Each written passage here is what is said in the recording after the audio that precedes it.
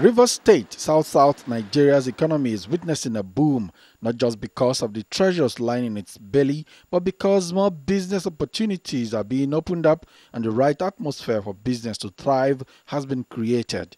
Don't forget that you have the triangle in Nigeria Lagos, Abuja, Port Harcourt. And that triangle hasn't changed. And it's not about to change. And the reason that Port, Port Harcourt and River State continue to look even more attractive, in my view, than Lagos is that Lagos is already oversaturated.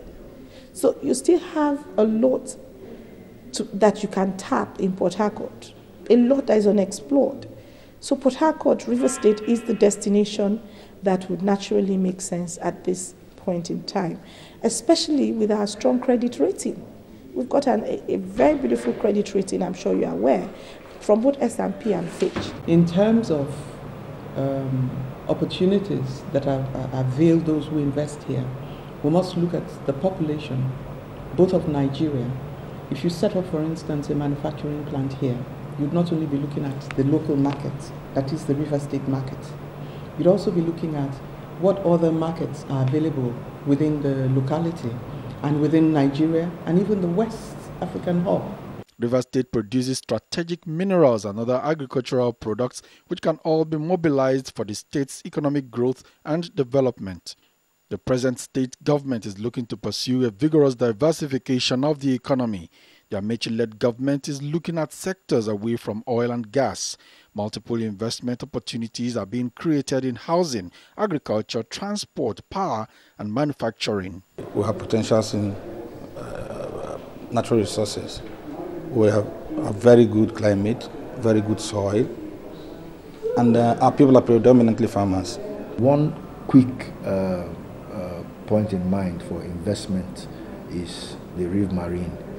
As I speak to you, we are looking for partners that will come and um, take over the company, revamp it, and run it solely as a private uh, uh, business. Government-owned participation will be its equity that will transfer to, to the investor. River State has a huge agricultural potential. Um, again, if you, this used to be the palm oil belt uh, in the time past, and we still have vast, you know, amount of land available uh, for, for, for, for farming. Of course, because of our riverine nature, aquaculture is an area that people will do quite well here. The flagship for investment in River State outside oil and gas has to be the Greater Port Harcourt City. In 2009, the Greater Port Harcourt City Development Authority was established to transform a new area into a world-class city. Local authorities have a vision of a city internationally recognized for excellence and a preferred destination for investors and tourists. The Greater Port Harcourt area is located next to the international airport and we're building the road that will link it up to the seaport. So we see possibilities of investment available in cargo and warehousing and uh, freight, freight uh, management. The River State government has created an enabling economic environment that attracts local and international entrepreneurs. They are ensuring security of lives and investment and creating laws to ensure continuity. We have set up the due process, public procurement systems, which we expect all who wish to invest or do business here to participate in.